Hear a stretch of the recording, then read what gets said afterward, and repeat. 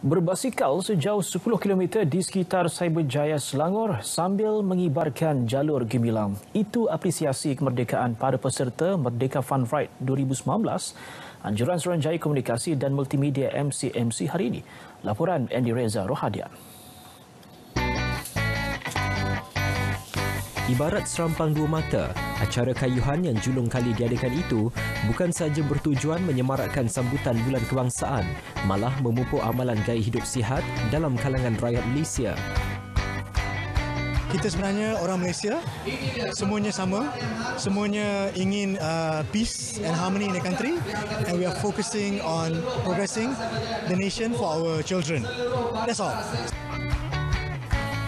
Edisi kali ini menyaksikan penyertaan hampir 400 peserta yang mewakili organisasi di bawah Kementerian Komunikasi dan Multimedia KKMM dan Syarikat Pengendali Perkhidmatan Telekomunikasi Negara.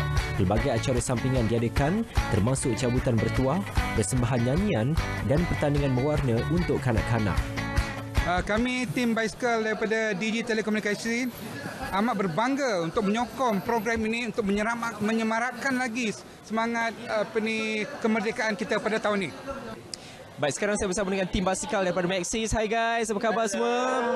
Okey, seronok mereka dah berbasikal sejauh 10 km. Apa yang bestnya acara ini? Uh, ini acara uh, sungguh bagus untuk semua lah memeriahkan bersama dengan MCMC dan dengan semua uh, rakan-rakan semua menyambut uh, Hari Merdeka dan uh, patriotik sikit lah.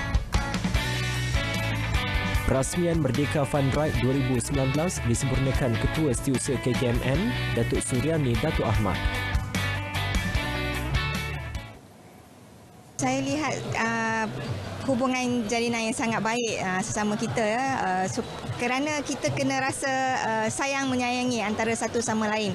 Satu bangsa satu bangsa Malaysia. Kita perlu bekerjasama dalam apa jua bidang. Kita perlu bersifat toleransi sesama kita supaya kita dapat hidup dalam harmoni dalam keadaan yang sangat bahagia dalam negara yang kita sayangi ini Baik, saya tak tahu macam mana mereka boleh berbasikal sehingga 10 km. Saya 500 meter pun dah pancit. Apapun, kesungguhan untuk berbasikal sehingga ke garisan penamat ini perlu dizahirkan dalam konteks yang lebih besar dalam pembinaan Malaysia misalnya. Masyarakat tanpa mengira agama, bangsa, keturunan, warna kulit dan usia perlu bersemangat bersama-sama untuk menjayakan agenda menjadikan Malaysia sebuah negara yang cemerlang, gemilang dan terbilang dalam pelbagai aspek. Selamat menyambut Hari Kebangsaan 2019.